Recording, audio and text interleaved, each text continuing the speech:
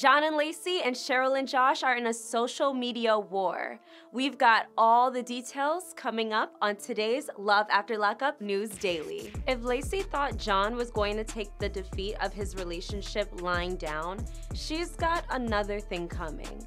John, or who I like to refer to as Mr. Bitter, used his IG as a personal public diary to share his disdain for his ex fiance's new relationship. John's post that Soap Dirt was able to screenshot started off apparently calling Lacey a hoe and a crack baby.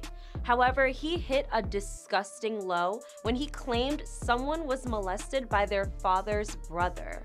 So far, there hasn't been a response on these horrendous accusations, but we'll be sure to keep you updated. Breakup rumors have been floating around for quite a while surrounding Cheryl and Josh. In the most recent episode, Love the Way You Lie, we watched the couple unravel, but ultimately stick together.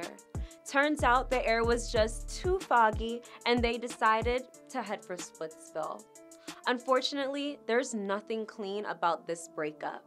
Recent social media battles have sparked accusations from Josh, claiming Cheryl is a delusional trash ass chick. The felon took to Facebook to rant about how Cheryl has been reaching out to his parole officer with claims that he's been doing drugs. Josh reassured the public they can search my house at any time. I don't ever have ish. And that if it came down to doing a drug test, his urine would come back squeaky clean. Does anyone else feel like Josh dodged a bullet? And can someone please tell me how Cheryl has all this time on her hands with three kids? Those comments below. That's it for now. Tune in tomorrow as we continue to dish on all the juicy drama.